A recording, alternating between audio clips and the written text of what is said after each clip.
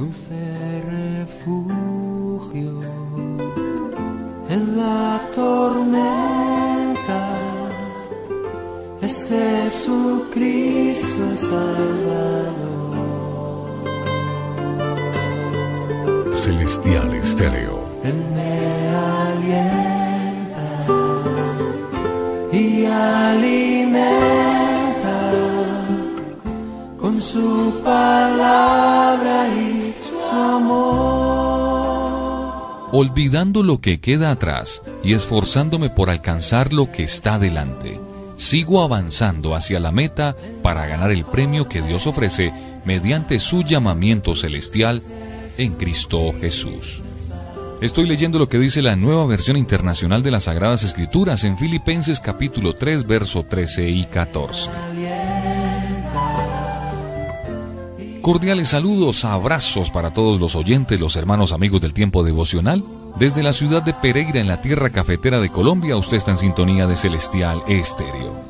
Búsquenos en todas las plataformas digitales, búsquenos en el canal de YouTube, en el Facebook Live, denle en seguir y me gusta nuestra página y también en todas las aplicaciones móviles desde su celular. La mitad de su día se la pasa trabajando. A veces el trabajo puede ser agradable, pero a veces nos puede estresar completamente. Pero usted tiene una opción. Su actitud puede cambiar con solo presionar un botón.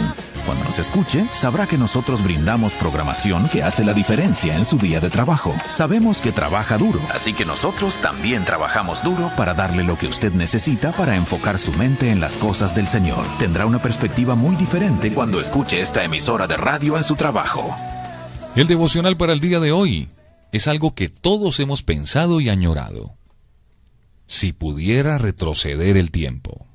Bienvenidos. ¿Qué harías tú si tuvieras la oportunidad de volver al pasado? ¿Arreglarías lo que en la actualidad parece ser como una piedra en el zapato que te impide avanzar? O quizá son tan hermosos esos recuerdos que no quieres soltarlos y te quedas añorando el pasado. ¿Alguna vez te ha pasado eso? Bien, muchas veces, por nuestras malas decisiones, tomamos el rumbo equivocado y lo único que deseamos es retroceder el tiempo para solucionar, entre comillas, esos males que inquietan nuestras vidas. O por el contrario, son tan buenas las experiencias que no queremos soltarlas. Pero mira lo que dice Filipenses capítulo 3, verso 13 y 14.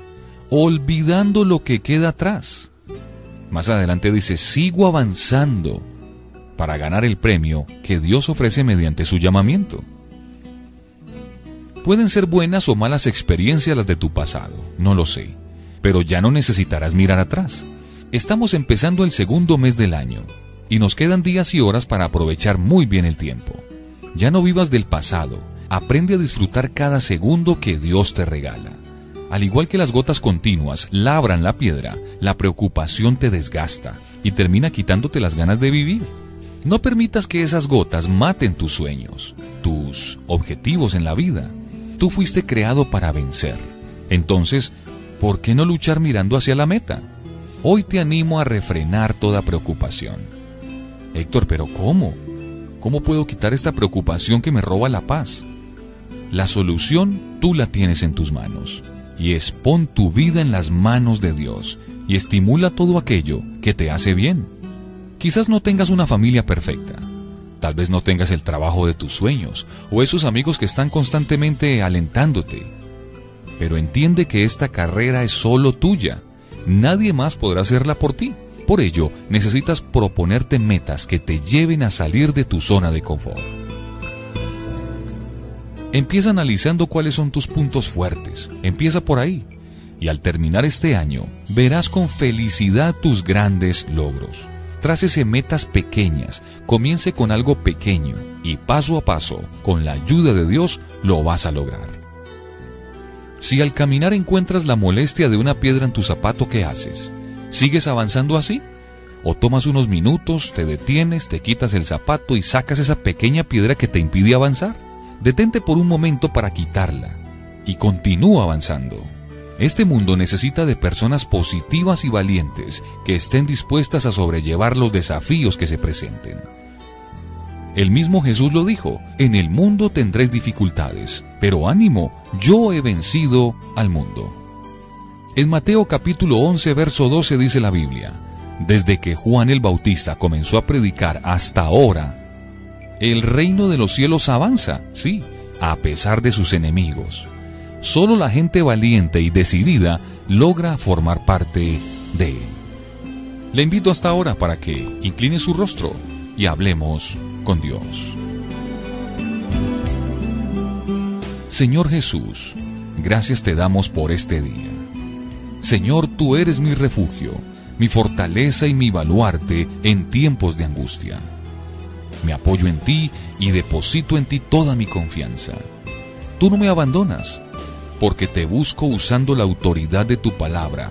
Te alabo, mi Dios, porque tú tienes el poder para cambiar mi semblante.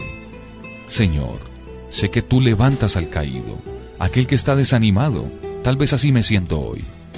Y al reconocer esto mi corazón cobra ánimo y me lleno de fuerza. Sé que tú tienes planes de bienestar y de paz para mí.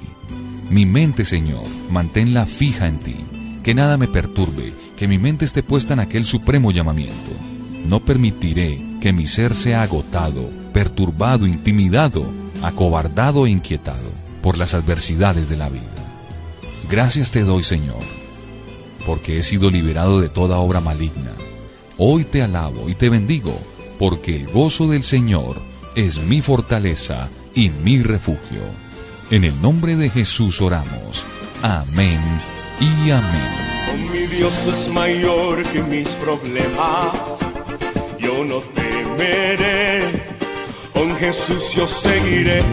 Y aunque la higuera no florezca y la vid no diera, yo no temeré, no, no. Sé que más allá del cielo el sol no dejó de brillar, aunque la tierra oscureció. Aquí mi vida está en